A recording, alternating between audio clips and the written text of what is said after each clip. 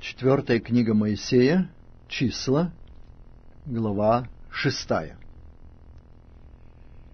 И сказал Господь Моисею, говоря, «Объяви сынам Израилевым и скажи им, если мужчина или женщина решится дать обет назарейства, чтобы посвятить себя в Назарее Господу, то он должен воздержаться от вина и крепкого напитка и не должен употреблять ни уксуса из вина, ни уксуса из напитка, и ничего приготовленного из винограда не должен пить и не должен есть ни сырых, ни сушеных виноградных ягод.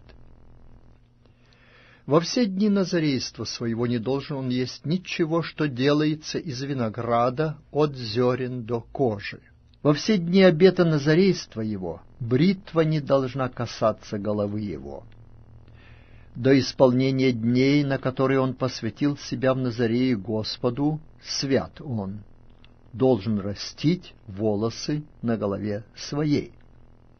Во все дни, на которые он посвятил себя в Назарее Господу, не должен он подходить к мертвому телу прикосновением к отцу своему и матери своей, и брату своему, и сестре своей, не должен он оскверняться, когда они умрут, потому что посвящение Богу его на голове его.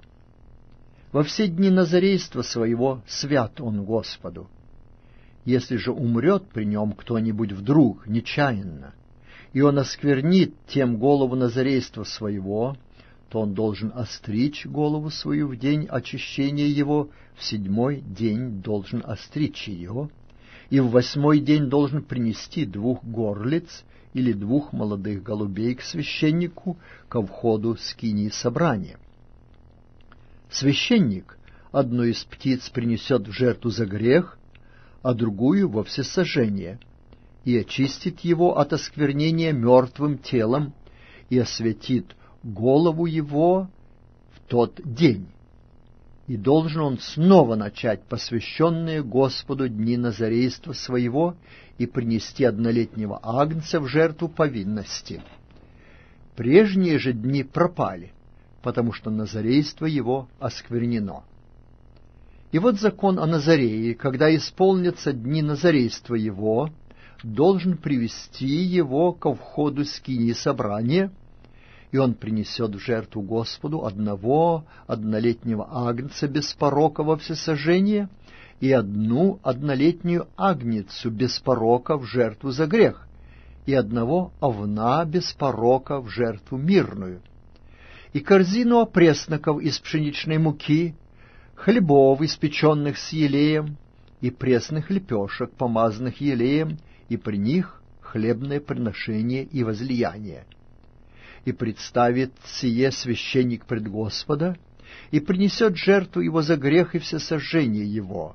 Овна принесет жертву мирную Господу с корзиной опресноков, также совершит священник хлебное приношение его и возлияние его. И острижет Назарею входа скинии собрания голову назарейства своего, и возьмет волосы головы назарейства своего, и положит на огонь, который под мирной жертвою. И возьмет священник сваренное плечо овна, и один пресный пирог из корзины, и одну пресную лепешку, и положит на руки Назарею, после того, как острижет он голову Назарейства своего. И вознесет сие священник, потрясая пред Господом. Это святыня для священника, сверх груди потрясания — и сверх плеча возношения. После сего Назарей может пить вино. Вот закон о Назарее, который дал обет, и жертва его Господу за назарейство свое, кроме того, что позволит ему достаток его. По обету своему, какой он даст, так и должен он делать сверхузаконенного о назарействе его. И сказал Господь Моисею, говоря, скажи Аарону и сынам его, так благословляйте сынов Израилевых, говоря, да благословит тебя Господь и сохранит тебя, да призрит на тебя Господь светлым лицом своим и помилует тебя, да обратит Господь лицо свое на тебя и даст тебе мир. Так пусть призывают имя мое на сынов Израилевых, и я благословлю их».